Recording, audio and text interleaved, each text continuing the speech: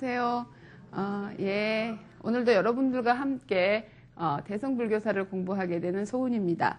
우리가 벌써 제4강 불교 교단의 성립까지 왔는데요. 지난 시간에 우리가 부처님의 출연에 관해서 공부해서 부처님이 왜 이 땅에 오셨는지, 그리고 이 땅에 오셔서 우리에게 어떤 이익을 주시는지, 그리고 부처님은 80세까지 어떤 삶을 사셨는지에 관해서 우리가 공부했고요. 오늘은 부처님의 45년간의 아, 교화를 통해서 얼마나 많은 사람들이 이제 아, 부처님의 교단에 입문하고 그리고 수행을 했는지에 관해서 이제 공부해 보도록 하겠습니다. 우리가 늘 하듯이 오늘 이제 제4강 불교 교단의 성립에 관한 어, 강의 개요와 키워드를 잠깐 여러분들에게 설명해 드리겠는데요. 우리가 불교 교단의 가장 아, 기본적인 것이 뭐예요? 불법성 삼보죠. 그래서 이제 불법성 삼보가 부족했을 때 우리가 불교 교단이 성립한다고 합니다. 그래서 우리가 삼보 사칠 있잖아요.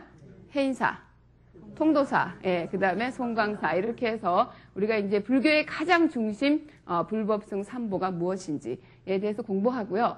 그 다음에 이제 우리가 부처님에 대해서는 지난 시간에 했죠. 부처님이 어떤 분이신지. 그래서 이번 시간에는 그런 부처님께서 녹야원에서 최초로 설법하신 초전 법륜의 가르침은 뭔가. 이게 핵심인 사성제와 팔정도에 관해서 공부하고요. 그 다음에 이제 우리가 부처님이 45년간 교화하시면서 수많은 어, 불제자들을 어, 기하게 하셨습니다. 그 중에서 다 어, 다룰 수는 없고요. 우리가 유명한 10대 제자를 어, 여러분들에게 소개하고 또 그 중에서도 더 유명하신 어, 그 안에 우리가 배울 점이 있는 그런 부처님의 제자들을 통해서 그분들이 어떻게 수행하고 어떻게 삶을 살았는지에 대해서 이제 한번 공부해 보겠고요. 그 다음에 이제 우리 이 불교 승가, 불교 교단이 어떤 특징을 갖고 있는가, 그 다음에 다른 어, 교단과 어떤 차별화되는 점이 있는가 하는 것에 대해서 이제 어, 공부해 보도록 하겠습니다. 먼저 이제 어, 불교 어, 교단이 어떻게 성립되었는지에 어, 관해서 공부를 해 보겠는데요. 우리가 불교 교단을 뭐라고 하죠? 예, 승가라고 합니다.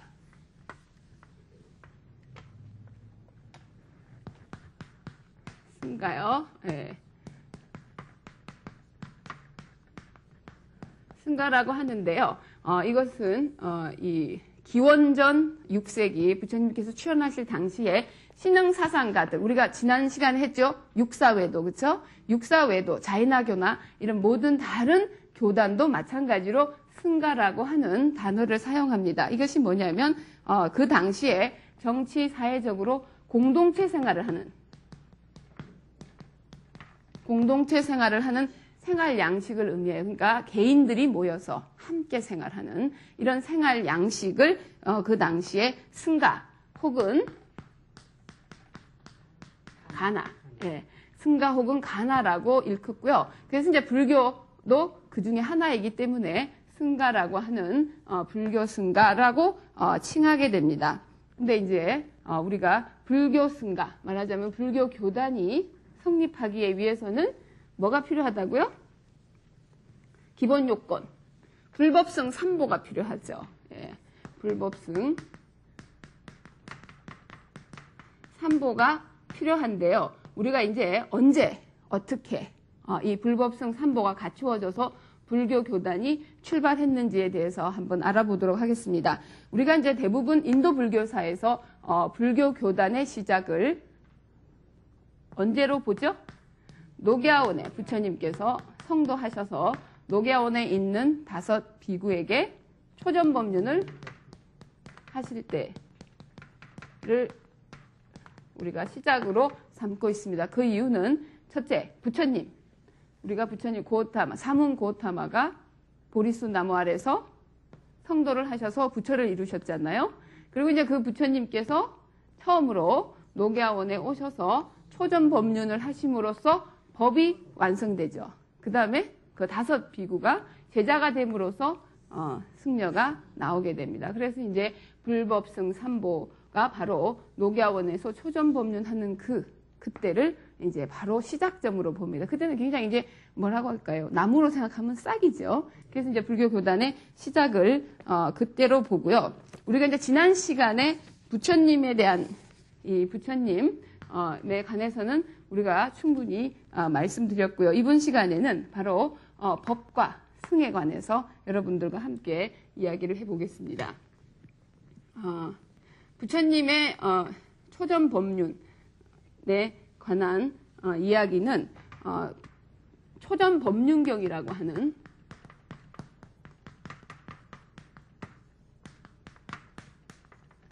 초전 법륜경에 자세히 나오고 있습니다. 그래서 부처님의 가르침의 핵심이 뭐냐? 그것은 사성제예요. 자, 그리고 이제 그것의 실천적인 방법으로는 팔정도. 그렇죠? 팔정도고, 그 다음에 이제 부처님께서 사성제를 설하시고 나서 중도를 설하시게 됩니다. 우리가 이제 먼저 이 사성제를 알아보기 전에 중도를 부처님께서 강조하신 이유가 뭐냐면 중도라고 하는 것은 뭐예요? 쾌락과 고행의 양극단을 벗어나는 거거든요. 그래서 이제 왜 이걸 하시느냐? 부처님께서 우리가 지난 시간에 부처님의 일대기에서 출가하셔서 수행하실 때 뭐를 수행하셨다고요? 먼저 수정주의와 고행주의를 하셨잖아요. 그래서 그 수정주의와 수정주의는 지나친 쾌락을 추구하는 것이고 고행주의는 지나치게 몸을 어, 다치게 하는 것이기 때문에 그 두 개 양극단을 피해서 중도. 그래서 우리가 나중에 보면 이 팔정도 바르다는 것이 바로 중도예요. 그렇죠? 어, 그런 수행을 하라고 어, 부처님께서 말씀하시는 겁니다. 어, 재밌는 이야기를 하나 해드릴까요? 미국 사람들이 미국에 있는 재미교포들이 한국을 재미있는 지옥이라고 그래요. 네. 한국 영화 얼마나 지옥 지옥 같은데도 지옥도 재미있는 게 있는 거죠, 그렇죠? 재미있는 지옥. 이게 미국은 뭐야? 심심한 극락. 그럼 너무 심심하거든요. 뭐다 개인주의고 막 옆에 사람이 죽어도 뭐지 모르고 한국은 옹기종기 모여 사니까 재밌잖아요. 그래서 그 사람들이 한국은 이제 재밌는 지옥이라고 어, 그렇게 표현을 한답니다. 예, 정말 재밌죠, 그렇죠? 예, 예. 그래서 한쪽으로 피우치는 것이 좋은 게 아니죠. 예. 옛날에 어떤 노 부부가 두 분 다 극락을 가기를 발언을 했대요. 그래서 이제 죽어서 극락 가기를 발언했는데 할머니가 먼저 돌아가셔서 극락에 갔어요. 할아버지도 끊임없이 극락에 가시려고 이제 발언을 하셨는데 어느 날 이제 극락에 정말 돌아가서 극락에 갔으니까 자기 부인이 저쪽에서 이제 연꽃 위에 탁 앉아서 있는 거예요. 얼마나 행복할까 이러고 이제 막 가서 보니까 부인의 얼굴에 약간 수심이 있더랍니다. 아니 이 좋은 데서 왜 수심이 있느냐고 그랬더니 여기 너무 심심해 그러시네요. 그게 그러니까 이 사바 세계가 좋은 거예요. 여러분 우리가 사바 세계에서 행복하게 사는 방법을 가르친 것이 바로 부처님의 어, 그 가르침이기 때문에 우리가 부처님의 가르침을 만나서 이 사바 세계에서 어떻게 행복할 것인가를 이제 어, 사성제를 통해서 알아보도록 하겠습니다. 사성제는 여러분 너무 잘 아시죠? 사성제는 뭡니까? 사성제 첫째 고, 집, 예, 아, 이게 너무 수준이 높으셔가지고 제가 좀 다음 시간부터 공부를 굉장히 많이 해야 될 것 같아요. 자, 우리가 부처님께서 사성제를 선하신 이유가 뭐라고요? 우리가 부처님 왜 출가하셨습니까? 부처님은 인생의 중생의 고통을 해결해 주기 위한 거예요. 이게 바로 중생의 고통을 해결하는 방법이에요. 첫째, 고. 모든 것이 고통이라고 하는 것을 우리가 어떻게 인식하는 거예요. 고통의 실체를 아는 거죠. 여러분들이 우리가 고통을 피할래야 피할 수 없어요. 그렇죠? 피할 수 없을 때 어떻게 해야 됩니까?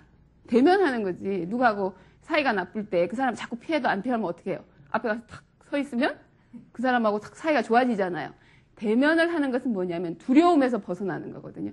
우리가 고통을 두렵다고 생각하면 고통에서 끊임없이 더 고통스럽기 때문에 우리가 먼저 고통을 인식하는 거예요. 그러니까 예를 들어서 뭐냐면 내가 돈이 없어요. 돈이 없다는 것을 피한다고 돈이 생기는 게 아니죠. 그렇죠? 어떻게 해요? 내가 돈이 없다는 것을 일단 인식해요.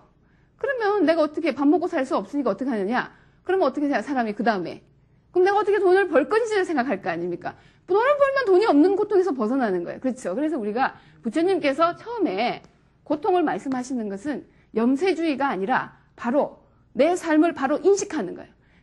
아주 현실적으로 내가 어떤 사람이고 내가 왜 이렇게 사는지를 먼저 우리가 청소할 때 그러잖아요. 어디가 지저분한 줄 알아야 청소하는 거 아니에요. 그렇죠? 그래서 내가 우리 삶이 고통이라고 하는 거. 그것을 바로 인식하게 시키는 것이 바로 이제 이 고성제거든요. 대신 이제 그러면 이제 고통스럽단 말이에요. 근데 고통이 뭐 누가 누가 나한테 갖다 줬어요? 응? 내가 뭐 고통 야 너 이 고통 너 받아 하고 탁 던져준다든지 응? 아니면은 뭐 옆집에서 고통을 빌려온다든지 뭐 그런 거 아니 고통을 어디 창고에다 넣어놨다니 그거 아니죠. 어떻게 합니까? 고통은 자기가 만드는 건데 뭐로 만들어진다는 거예요? 집착. 이, 이 집착, 욕망.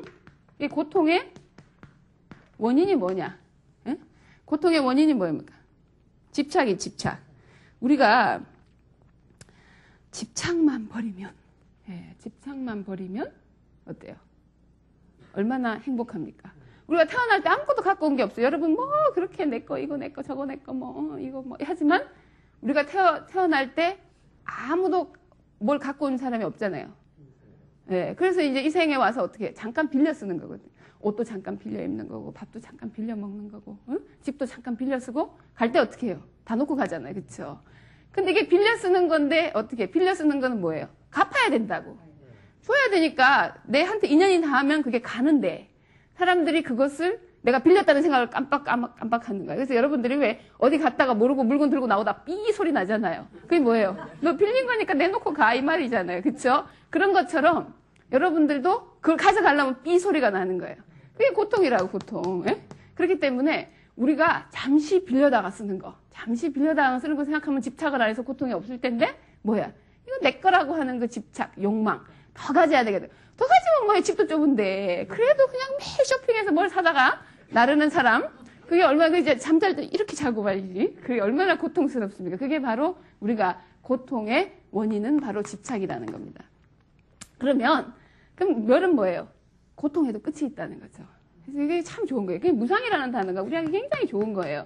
우리가 무상하다는 단어가 굉장히 싫겠지만 사실은 무상이라는 말은 반대로 좋은 것도 끝이 나지만 나쁜 것도 끝이 나요. 내 고통의 끝이 있는 거야. 근데 사람들은 좋은 거 끝나는 것만 괴롭지 나쁜 거 끝나는 걸 즐거워하지 않거든요. 그건 너무 당연하게 생각하는 거예요. 하지만 사실은 고통의 끝이 있다는 거예요. 그래서 우리가 고통의 끝이 뭡니까? 열반이죠. 즐거움이에요. 행복. 그쵸? 그래서 고통의 끝이 있는데 그러면 이 고통의 끝이 그냥 오느냐? 그것이 아니라 바로 돌을 닦아야 된다는 거예요.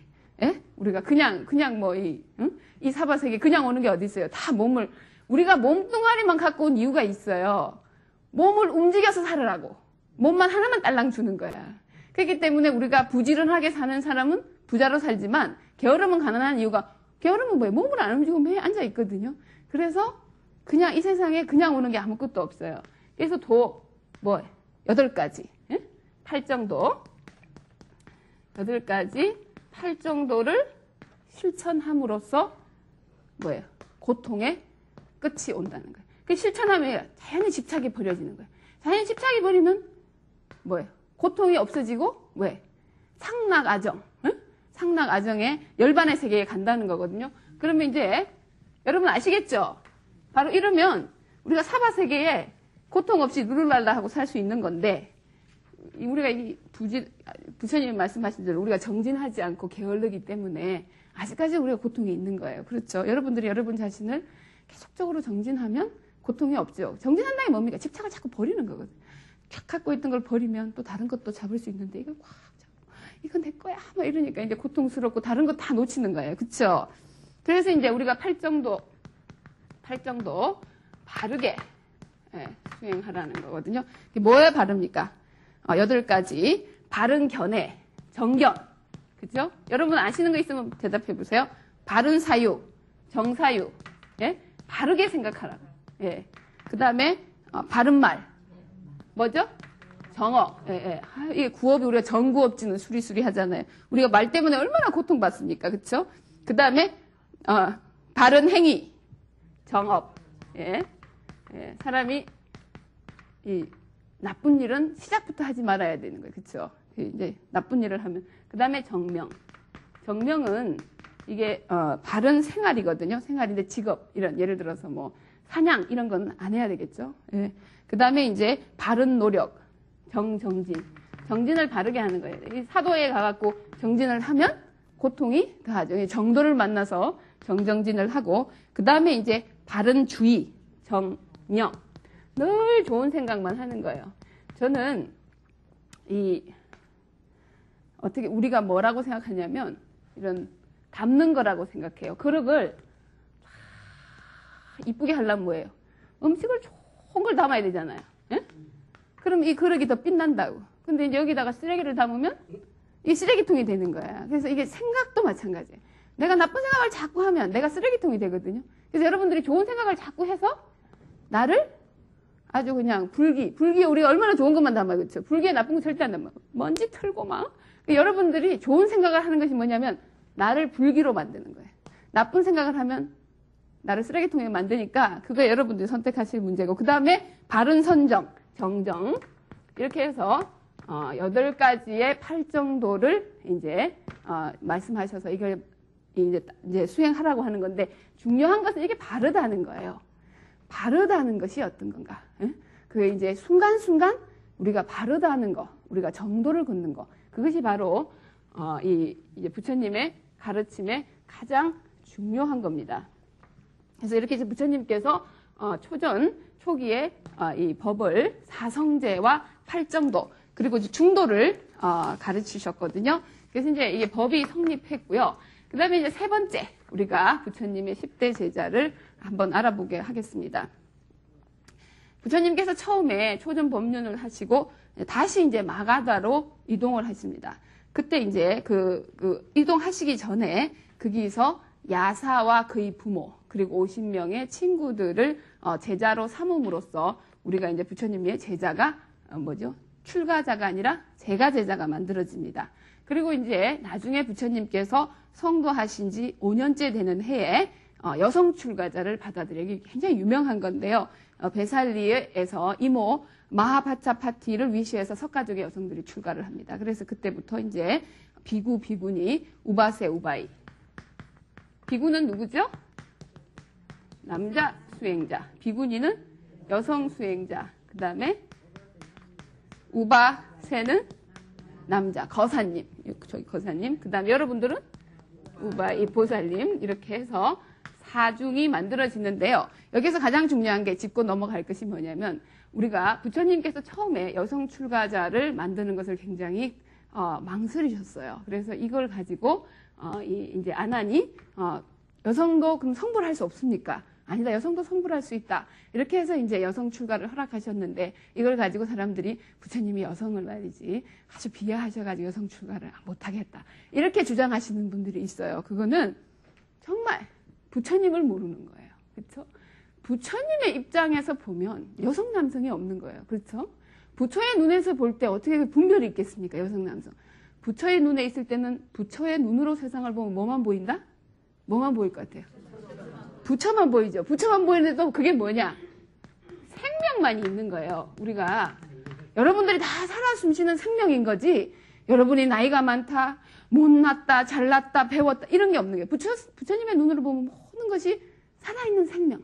살아있는 생명으로 보는 이 부처님의 눈에 무슨 여성이 있고 남성이 있겠어요. 그렇죠? 근데 왜 그런 부처님이 출가를 어, 허락하는 것을 꺼려하셨느냐? 그것은 이 당시에 사문들의 삶의 방식이 나무 밑에서 자라요. 나무 밑에서 자고 하는데 여성이 그것을 견뎌내기가 굉장히 어렵거든요.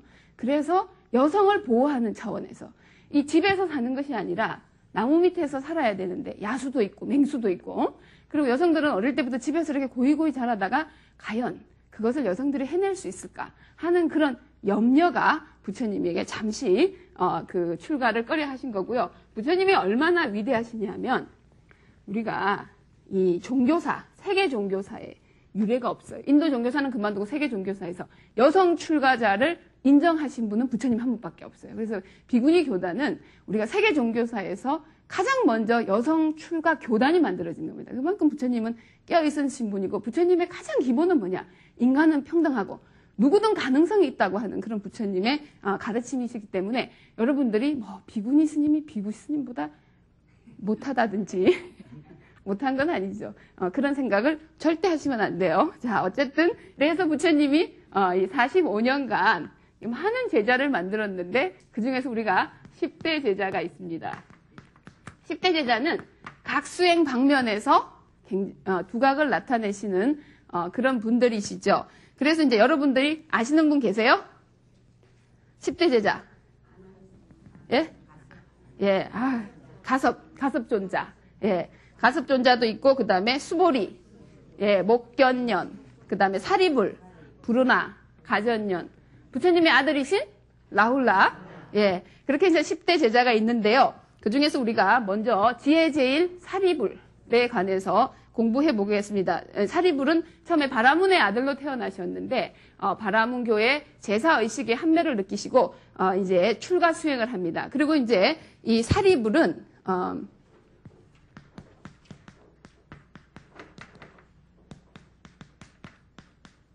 목견년과 도반의 사이예요. 그래서 좋은 스승을 만나면 어, 같이 공부하자고 어, 하신 어, 그런 분들이시고요.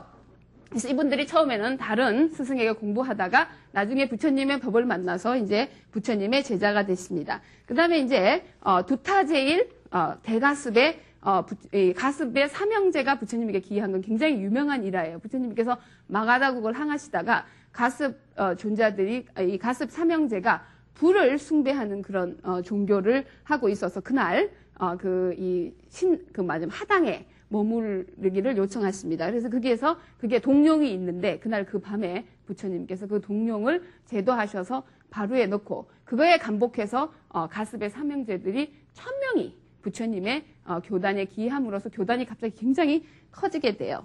그 다음에 이제 어, 해공제일 수보리죠.